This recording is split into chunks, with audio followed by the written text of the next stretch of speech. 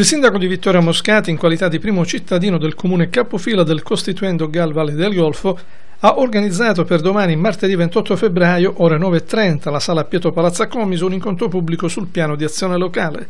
All'incontro sono stati invitati anche i sindaci di Gela, Comisi e ACAT, le associazioni di categoria, gli ordini professionali e le associazioni che a vario titolo sono interessate all'iniziativa.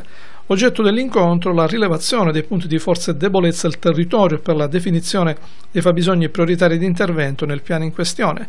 Non solo, ma anche la condivisione degli ambiti tematici di intervento nella strategia, oltre alla programmazione e pianificazione dei metodi da applicare.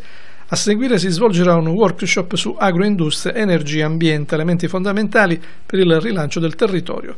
L'invito per domani a Comiso è stato inoltre pubblicato all'albo pretorio online del sito istituzionale del Comune di Vittoria, oltre che sul sito Sportelle Europa.